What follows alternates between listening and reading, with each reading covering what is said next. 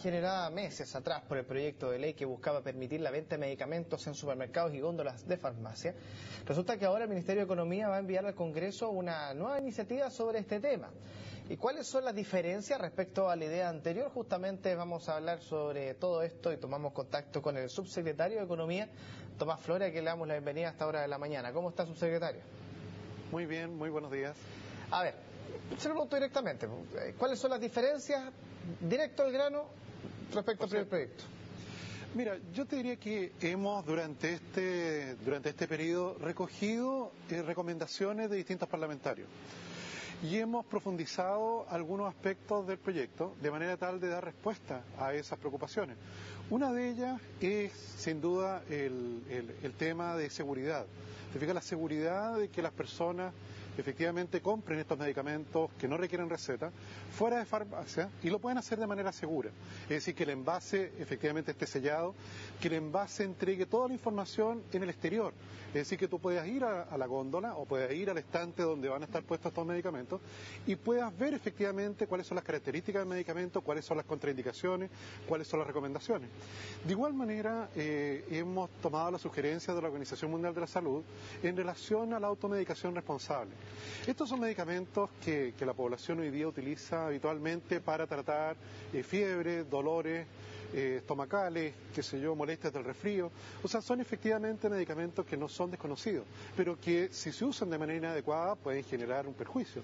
Entonces, en ese sentido es que tenemos que hacer efectivamente campañas, tenemos que colocar afiches en los lugares donde se van a vender estos productos y también poder ofrecer mecanismos mediante los cuales las personas puedan consultar desde cualquier lugar de Chile, a cualquier hora del día, en cualquier día de la semana, sobre la conveniencia o no de tomar tal medicamento o no. Ahora, desde el punto de vista de la seguridad, subsecretario, me llama la atención, claro, uno dice vamos a pegar afiches, vamos a pegar carteles con la información, pero también he sabido que en muchas zonas eh, del país eh, quizás eh, no tienen los conocimientos detallados para lograr comprender, por mucho que el envase traiga todo el detalle del medicamento y que sea usado habitualmente, que esa persona, por iniciativa propia, logre comprender realmente el mensaje que se está dando ahí.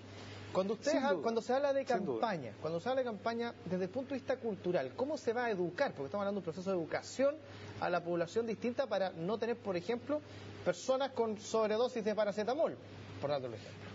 No, sin duda.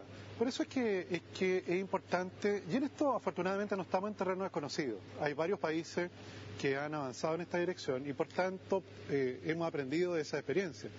En ese sentido es que tú tienes que tener un nivel de información que sea comprensible para un chileno común y corriente. Eso significa que los textos que vienen, que van a venir a los envases, eh, tienen que ser testeados, tienen que ser probados, tienen que ser presentados a un grupo de personas comunes y corrientes y poder medir el grado de comprensión que ellos tienen. O sea, de ese punto de vista es importante hacer notar de que, de eh, sobre todo en comunas en las cuales no hay farmacia, en las cuales tú tienes que viajar prácticamente de un lugar a otro para ir a comprar eh, aspirina o paracetamol, es importante lograr una mucho mayor capilaridad en los puntos de venta. Queremos muchos más lugares donde los cuales se puedan vender estos productos, de manera tal de también eliminar lo que hoy día son eh, vías de comercialización informales o ilegales, de hecho, como las ferias, en las cuales tú ves a veces medicamentos vendidos en el suelo, medicamentos que están vencidos y medicamentos sin ningún información. Ahora, las góndolas también es un tema en los supermercados. ¿Cómo se va, por ejemplo, a trabajar el tema específico de la seguridad de las góndolas? Eh, por ejemplo, leía los documentos, parte de eso habla para que los niños, evitar que los niños tomen los medicamentos dentro del supermercado. Bueno, esa inversión de góndolas, porque uno sabe que los supermercados es como una especie de arriendo de espacio, ¿Va a venir de parte de quién? ¿De, las compañías farmacéuticas? De, ¿Va a haber una especie de subsidio? ¿Cómo se va a hacer ese trabajo de modernización, por decirlo de alguna manera, de las góndolas para evitar justamente que los pequeños eh, tengan acceso a estos medicamentos? Bueno, en esto es el Ministerio de Salud, a través de su CEREMI, los que otorgan la autorización para que un local comercial pueda vender estos productos. Te es efectivamente los que más saben de esto, que son los, los, de salud, los cuales van a establecer a través del reglamento de la ley cuáles son las características para el almacenamiento y disposición de estos productos, de manera tal de que no solo ello sea posible para un supermercado, sino que también sea posible, por ejemplo, para un almacén que hoy día vende alimentos y que perfectamente también podría ofrecer estos productos. O sea, de ese punto de vista es que son los especialistas del Ministerio de Salud los encargados de ello. Pero, pero no solo eso, también nos pidieron algunos parlamentarios que la futura Agencia Nacional de Medicamentos, que también se, está discutiendo en el Congreso, también tenga la capacidad de poder recoger información sobre las características de consumo, de cómo evolucionando este mercado más grande que estamos, que estamos tratando de, de, hacer más competitivo, de manera tal de poder efectivamente aprender. De hecho, eh, es conocido el caso de hace algunos meses atrás en el cual el Instituto de Salud Pública retiró un medicamento de la lista de, aquellos que no requieren receta, por los efectos que estaba provocando, efectos indeseados que estaba provocando sobre, sobre las personas.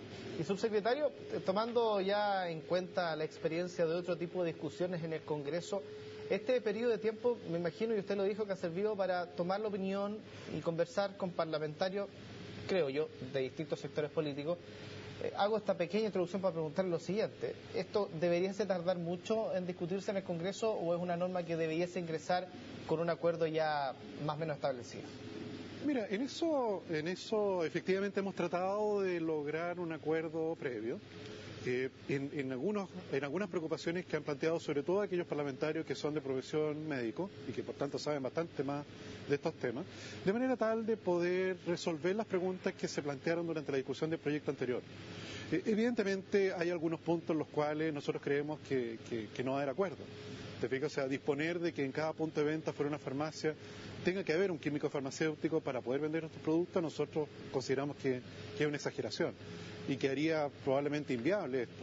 Entonces, eh, eh, en ese tipo de cosas, evidentemente, no, hemos llegado a acuerdo, pero, pero tampoco han sido muchos los parlamentarios que lo han planteado. Y en ese punto en particular, eh, subsecretario, ¿quién, ¿quién va a terminar cediendo un poco? Porque si no hay acuerdo, alguna de las dos partes va a tener que ceder, o habría quizás alguna fórmula alternativa que ustedes tengan ahí como carta bajo la manga para justamente abordar esas temáticas. Bueno, en esto estamos, apostando a que vamos a lograr una mayoría dentro del Congreso que permita efectivamente avanzar en este proyecto sin una imposición como esa. ¿Te fijas? O sea, yo creo que, que exigir una, una cosa como esa, además que yo considero que, para una persona que estudió cinco años en la universidad, tenerlo de pie al lado de una góndola es algo que, evidentemente no, es el mejor uso de los recursos en capital humano avanzado.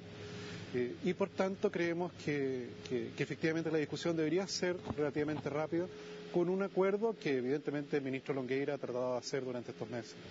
Bueno, subsecretario, quiero agradecer esta conversación. Eh, vamos a ir viendo cómo avanza todo esto en el Congreso, que es finalmente donde se ven las cartas sobre la mesa. ¿Ya? Que esté muy bien. Exactamente. Muchas gracias. Muy buenos días.